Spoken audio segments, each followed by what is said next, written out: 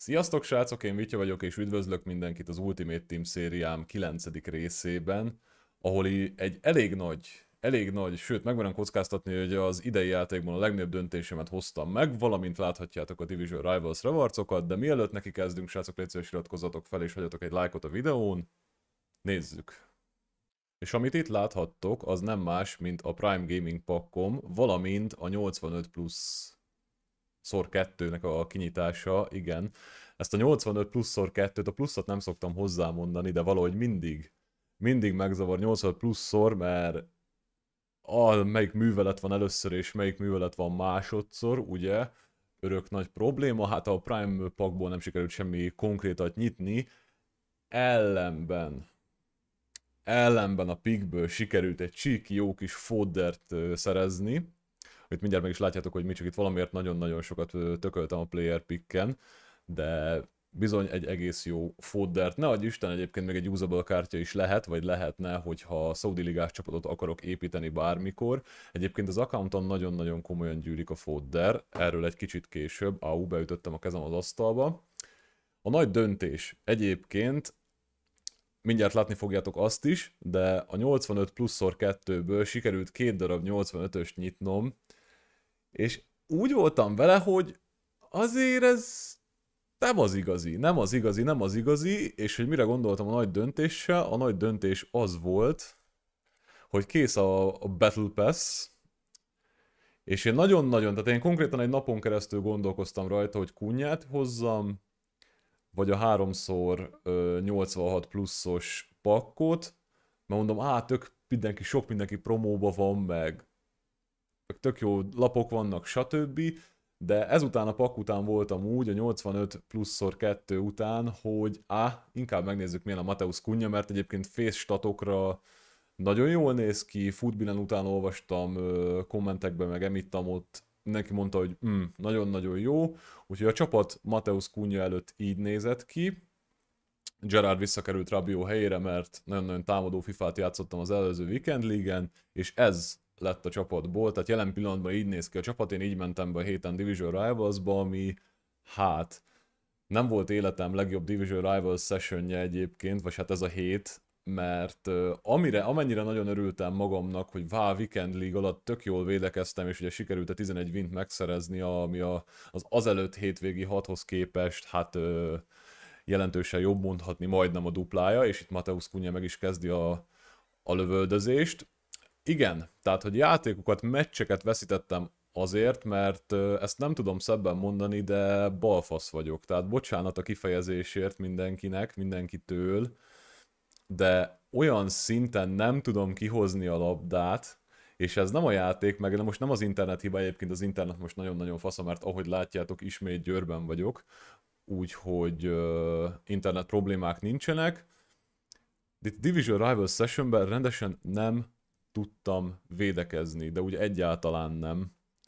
És azt hiszem ezek a felvételek, ja igen, amit nagyon-nagyon fontos még most elmondanom, hogy itt továbbra is a 4-2-2-2-2-2-2-2 2-ben vagyok, és Mateusz Kunya a baloldali csatárom egyébként, mert valamiért így állítottam be, de Grizi és Kunya az alapfelálláshoz képest helyet cserélnek. Egyébként Kunyáról annyit kell mondjak, hogy ja, kipróbáltam itt a Strikerbe az első három meccsen, amit láthattok, valamint a második három meccsen pedig már 4-3-3-4-ben voltam, ugye az a kemes felállás, és Mateusz Kunyát Kemben használtam, ami hát igen, ez egy visszatérő probléma lesz, hogy a hat meccset fogtok most látni, szerintem a hat meccsből ötön eladok egy 11-est, de szerencsére Alison, Bolond Alison, aki állítólagosan a mérkőzés, vagy nem a mérkőzés, hanem a játék legjobb játékosa, gondoltam megpróbálom, mert azért mondom, hm, ott a Brazil Link Mateusz Kunyával, hát mikor, ha, mikor máskor, ha most nem. És igen, Mateusz Kunya egyébként beszélnünk kell róla, nagyon-nagyon komolyan beszélnünk kell róla. Mateusz Kunya annyira könnyű vele labdát vezetni, tehát amikor nála van a labda, olyan könnyen mozog. Labda nélkül is egyébként, de labdával is olyan tök jól lehet vele mozogni, hogy hihetetlen úgy, hogyha esetleg Premier League csapatotok van, vagy brazil csapatotok, vagy bármilyen jellegű csapatotok esetleg, ahol meg tudjátok oldani, hogy Kunya full, vagy akár két kemel legyen, közben még egy Mateus Kunya gól elintézi a Rage Quit-et. Köszönöm szépen Mateus Kunya. Szóval egyébként mindenkinek csak javasolni tudom, vagy hát ajánlani tudom, hogy próbáljátok meg Mateus Kunyát, mert ugye nekem a, a gondolatmenetem az volt, hogy Mateus Kunyával, hogy igazából a 86x3-as pakot is választhattam volna, és mondom, én egy napig ezen gondolkoztam, közben Mateus Kunya még egyszer, egyébként el is nevezhetném ezt a részt a Mateus Kunya sónak, de azt majd 11-es, azt majd nagyon-nagyon szeretném, hogyha a Weekend League kvalifikáció lenne, mert még azt nem csináltam meg, de mire ezt nézitek, ha nagyjából akkor nézitek ezt a videót, amikor kijött, akkor lehet, hogy éppen Twitch-en tolom a, a kvalifikációt, és hát igen, meg egy csodálatos gól, itt már 3-1, és a bátyja megüt a Gridivel, Neymarral a Gridivel, tehát hogy ennél rosszabb dolgot nem tudok elképzelni, úgy igazából a Donkanyar óta, ahonnan egyedül jöttem vissza egyébként az egész osztagomból, nagyon-nagyon rossz volt. De igen, itt közben történik. Még egy gól, kapok még egy gridit, nagyon-nagyon fontos, hogy 79. perc, és azért egyszer meg lehet gridizni az embert. De ha kétszer gridizel meg egy embert, akkor legyél benne nagyon biztos, hogy agyonverted. Mert a kétszer megridizett ember az top 5 legveszélyesebb dolog az egész világon. Egyébként a kátszélével egyetemben.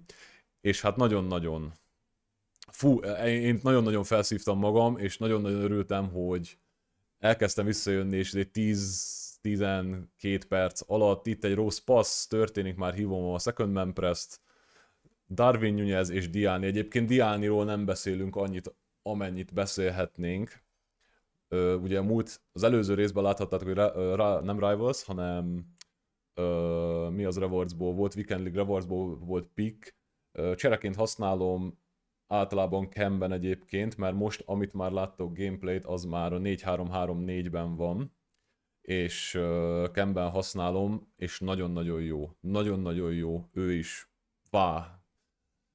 Nem fogok neki külön uh, részt szentelni, de csak azért nem, mert mi az, azért csere emberekre, ja, majd ha úgy alakul, hogy esetleg kezdőben van, vagy bármi, akkor mindenképpen, de őt is csak javal, javalni tudom bárkinek, aki, akinek esetleg olyan csapata van, hogy bele tudná tenni, és hát itt a visszatérő téma megint csak. Vitya elad egy 11-est, Vitya doing Vitya type things, sajnos sikerült megint eladni egyet, de volt olyan jó fej a bátyja, hogy kirúgta a stadionból, itt pedig érkezik KDB és Diani doing Diani type things, tehát hogy fogja és mint a világ legtermészetesebb dolga lenne, beollózza. Itt egyébként én 100%-ig biztos voltam benne, hogy ez les volt, de a játék szerint nem volt les, úgyhogy sikerül 4-1-re behúzni a meccset, és mondom, ez volt az első meccs, ahol már a 4-3-3-4-ben voltam Kunyával Kemben. És igen, ö, zseniális, elképzelhetetlen egyébként eddig. Nagyon-nagyon remélem, hogy nagyon jó lesz a nagyon, le kell szoknom egyébként. Egy csomószor visszanézem a videóimat, és így nem is tűnik fel, hogy ennyiszer szó ismétlek. Ezt a gólt, ezt remélem mindenki látta. Itt pedig egyébként Kunya az Isten munkáját végzi kőkeményen, ahogy illik, majd pedig Griezmannnal sikerül 2-0-át megszerezni. Szóval igen, Kunya nagyon-nagyon jó. Tényleg azt hiszem, hogy ez a 90-es dribbling, tudjátok. Ez a 90-es dribbling, amilyen van, ha jól emlékszem, de egyébként itt van felütve mellettem a csapatom, szóval ezt gyorsan meg is nézem, hogy nem hazudoztam de egyébként igen, 89-es pace, 87-es shooting, 83-as passing, 90-es dribbling, és emellé még jár egy 81-es physicality is, ami vá, elképzelhetetlen. Egyébként ez a mérkőzés meg Teo Hernándezé volt, és nagyon örülök, hogy nem Lucas Hernándezt mondtam végre, mert először mindig Lucas Hernándezt mondok, holott őt például soha nem használtam Ultimate Teamben. Szóval ez a, ez a Mateus Kunya kártya, ez nagyon egybe van. Ja, és hát igen, itt láthattátok, ezt már el is felejtettem, hogy ez megtörtént, de hát láthattátok, hogy miért akartam visszatenni Gerardot a kezdőben, mert egyszerűen power shotjai azok hihetetlenek. Ez pedig a szokásos uh, Vitya bekap egy FIFA gólt mai részében, amikor szereled, de nem szereled.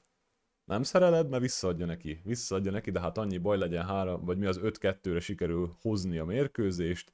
Ez pedig, ha jól emlékszem már, igen, ez már az utolsó mérkőzés, amit játszottam a 4-3-3-ban. Itt Mateusz Kunja kiharcol egy 11-est, és hát ugye tudjuk, hogy KDB, KDB dolgokat csinál, tehát nem hagy ki 11-est, kivéve amikor igen, de akkor sem mindig. Itt pedig ugye a visszatérő téma, ugye nem kell mondanom, mindenki tudja, hogy mi történik.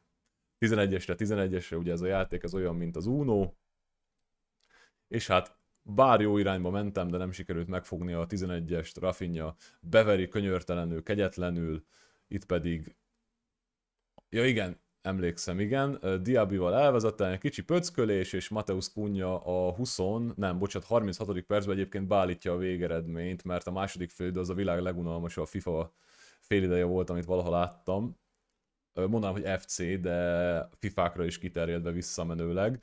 Itt nagyon-nagyon gondolkoztam, hogy mit pikkeljek, ugyanis nagyon-nagyon sok játékos van a klubban.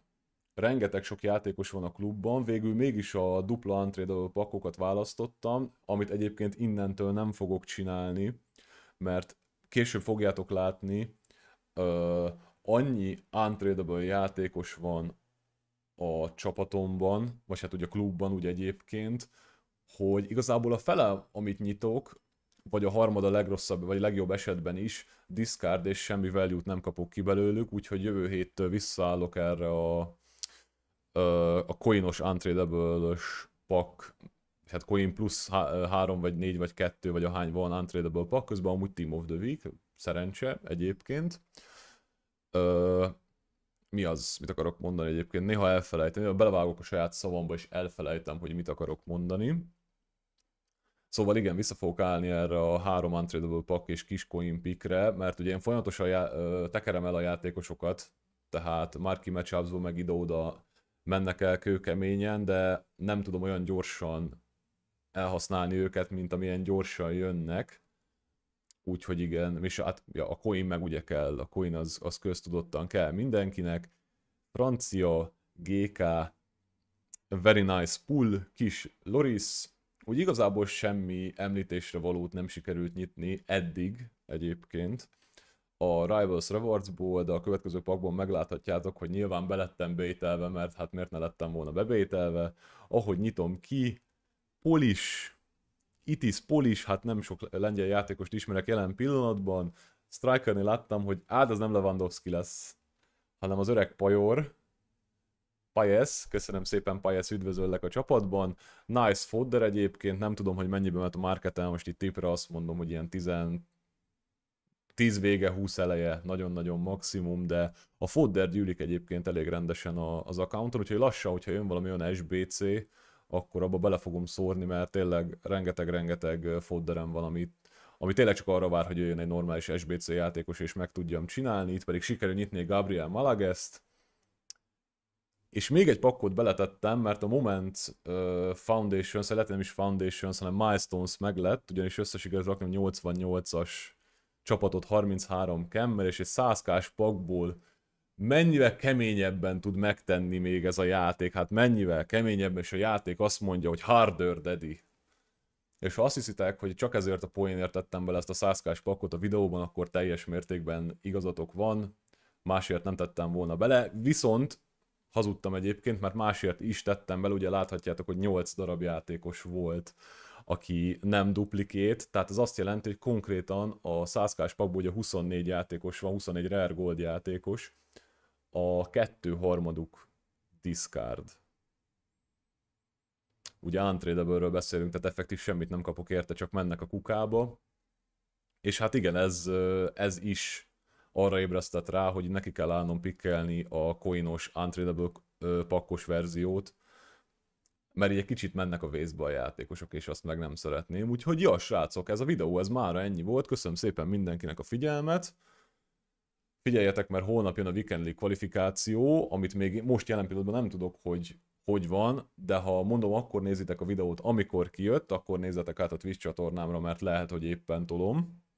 De ha meg nem, akkor holnap találkozunk abban a videóban, hát remélem, hogy jól sikerül, innen szólítok saját magamnak, nektek pedig köszönöm a figyelmet, srácok, ne felejtsétek, iratkozzatok fel, és like a videóra, létszi, létszi, nagyon szépen köszönöm mindenkinek, én Vitya voltam, és találkozunk a következő videóban.